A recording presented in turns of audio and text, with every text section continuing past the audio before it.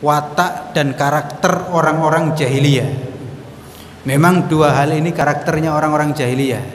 Orang-orang jahiliyah itu biasa menghina orang lain karena keturunan atau juga mempertimbangkan seseorang itu faktor faktor keturunan dan mudah mengucapkan nah, keturunan fulan saja gitu.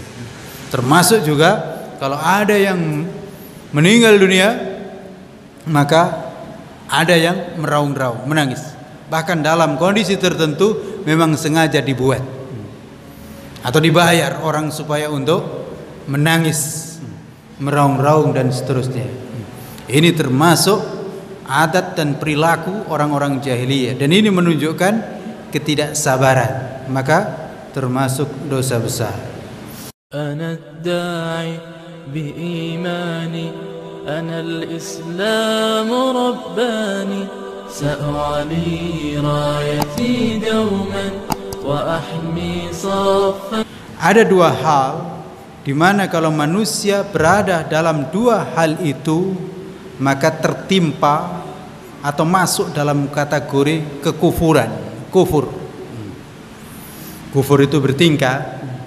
Ada kufur yang menjadikan seseorang itu keluar dari Islam, murtad, dan ada kufur yang tidak sampai menjadikan seseorang itu murtad. Artinya dosa. Yang kalau sampai terus dilanjutkan itu memang bisa mengakibatkan hilangnya keimanan. Kedua hal tersebut Nabi bersabda at-ta'nu fin nasab mencela keturunan.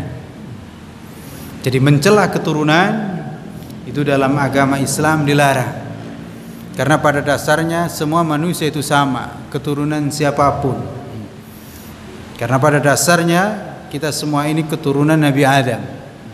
Dan seseorang berikutnya mulia dan tidaknya tidak disebabkan oleh keturunan.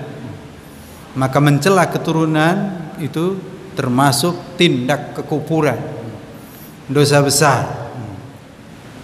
Maka tidak boleh kita mencela seseorang karena keturunan si fulan. Ah, keturunan fulan saja kok keturunan termasuk menyebutkan keturunan suku keturunan status sosial termasuk juga keturut menyebutkan keturunan tingkat pendidikan misalnya atau keturunan menyebutkan keturunan soal warna kulit misalnya. Maka itu semuanya ah, tidak dibenarkan dan itu masuk dalam kategori kekufuran meskipun belum sampai menyebabkan seseorang itu keluar dari Islam tapi itu merupakan dosa besar. Tidak layak bagi orang yang beriman mencela seseorang karena keturunan. Yang kedua waniyahatu 'alal mayyit meratap atas mayit meratap ketika ada keluarga atau seseorang meninggal dunia. Karena meratap ini berarti tidak sabar, tidak terima dengan takdir Allah Subhanahu wa taala. Meratap ini adalah diwujudkan dalam bentuk menangis. Menangis yang meraung-raung, menangis yang berlebihan. Hmm. Kalau sekedar menangis, meneteskan air mata, lalu kemudian ditahan dan tidak terus-menerus ya wajar. Memang sedang bersedih menangis iya Nabi juga meneteskan air mata ketika putranya meninggal. Tetapi tidak meraung-raung. Meraung-raung lalu terus menerus menangis itu. Maka itu termasuk niyaha dan niyaha itu termasuk kekufuran. Kenapa? Berarti tidak sabar. Tidak ridho dengan takdir Allah Subhanahu wa taala.